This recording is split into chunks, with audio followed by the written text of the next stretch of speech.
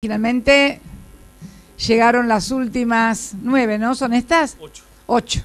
Ocho formaciones que van a completar las 25 formaciones nuevas del ferrocarril Sarmiento, que calculamos que septiembre, mediados de septiembre, van a estar en su totalidad ya todas las 25 formaciones nuevas. Ya se nota eh, por la incorporación de las nuevas formaciones, el aumento, ya estamos en 17 formaciones, ¿no?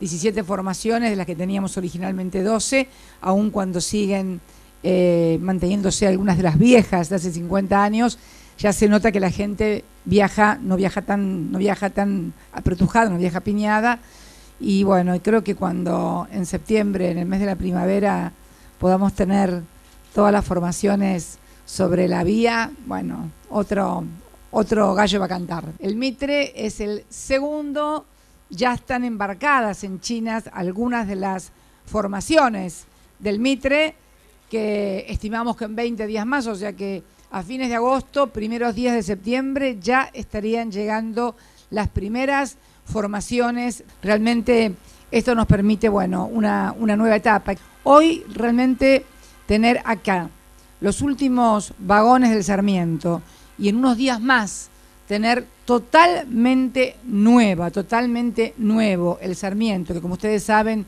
es la línea que más pasajeros transporta, por aproximadamente 300.000 por día, realmente es una maravilla y, y, poder compartirlo con el resto de los argentinos.